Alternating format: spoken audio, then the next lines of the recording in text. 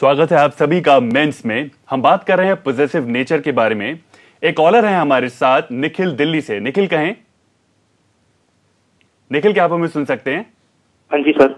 जी कहें सवाल पूछें। सर मेरा क्वेश्चन ये है कि है ना जैसे अभी आपसे एक पहले से कॉलर आई थी तो मेरे से भी कोई बात करता मैं सबके साथ पॉजिटिव चलता हूँ। बिल्कुल पॉजिटिव जी। बाकी मेरे मतलब फ्रेंड सर्कल या कहीं पे भी मेरे को कोई कुछ डांटता है या कुछ कहता है तो मैं भी दो दिन तक सोचता ही रहता हूँ उस पर टेंस हो जाता हूँ। अंदर ही अंदर कोई बात मतलब ज़ाहिर नहीं कर पाता अंदर ही दबाता हूँ।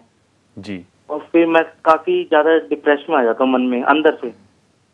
जी। अनिल जी बताएँ। निखिल ये एक अब कब से हो रहा है आपके साथ ये? हेलो कॉलर नहीं है मेरे ख्याल अब। जी।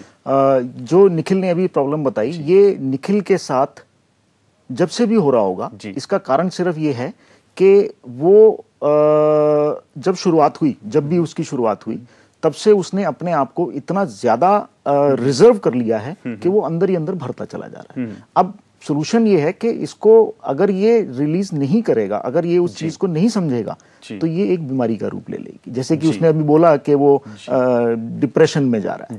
अभी डिप्रेशन में जाएगा धीरे धीरे फिर उसको हार्ट की प्रॉब्लम की तरफ़ बढ़ सकता है। यहाँ तक कि ब्रेन के ब्रेन से रिलेटेड भी प्रॉब्लम्स आ सकती हैं। और ये किस हद तक बीमारी बढ़ सकती हैं? मैंने बताया ना जैसे कि हार्ट प्रॉब्लम जी। और ब्रेन से रिलेटेड जी। भी प्रॉब्लम हो सकती है। तो अगर हम अभी इसी उम्र में उनका इलाज नहीं करेंगे जी। तो ये आगे जाके बढ़ेंगे।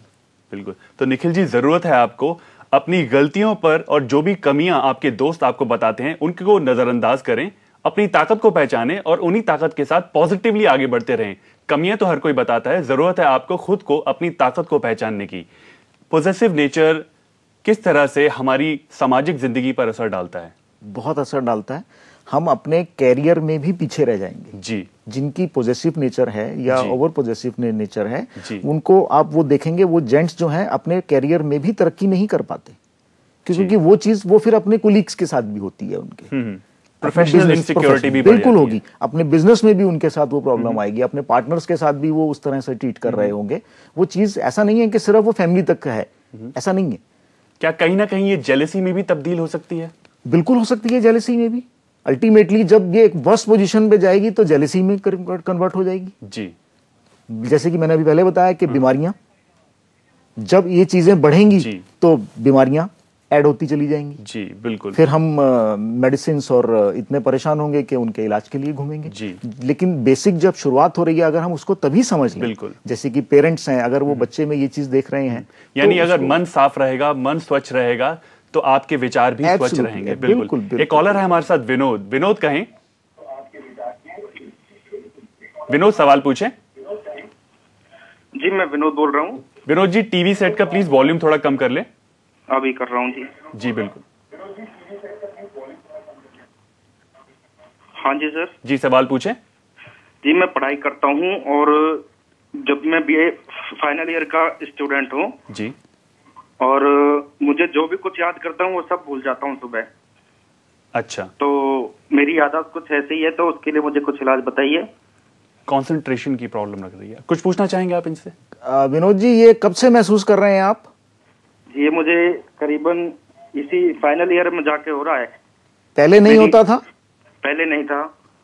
ओके विनोद इसके लिए मैं आपसे यही सजेस्ट करूँगा ये प्रॉब्लम की अभी आप ये समझ लीजिए कि शुरुआत है और अगर अभी से आप इसको कंट्रोल कर लें तो मैं समझता हूँ कि बहुत अच्छे आपके लाइफ में रिज़ल्ट आएँगे।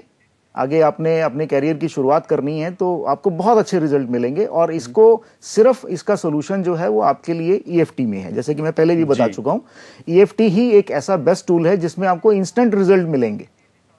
हम्म। तो आप अपने नज़दीक किसी भी ईएफटी एक्सपर्ट से मिलें और उनसे इसकी टेक्निक को सीखें या उनसे ट्रीटमेंट लें और आप देखेंगे बहुत जल्दी आप इस चीज़ से बाहर निकल आएँगे क्योंकि ये अभी शुरुआत है। बिल्कुल। अगर बिगनिंग स्टेज पर हम किसी चीज़ को पकड़ लेंगे तो बहुत अच्छे रिज़ल्ट आते हैं। बिल्कुल तो विनोद जी, आपको ज़रूरत है खुद पर विश्वास रखने की और पॉजिटिव सोच के साथ आगे बढ़ते जाइए। कॉन्सेंट्रेशन अपने आप बढ़ेगा। अनिल जी बहुत बहुत धन्यवाद शो पर हमारी ये सभी जानकारी देने के लिए।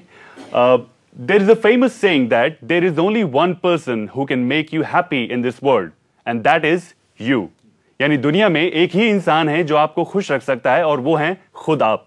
तो भूल जाएँ सभी टेंशन को और खुश रखने की कोशिश करें अपने आप को भी और अपने परिवार को भी। कल हम बात करेंगे attention deficit hyper activity disorder के बारे में।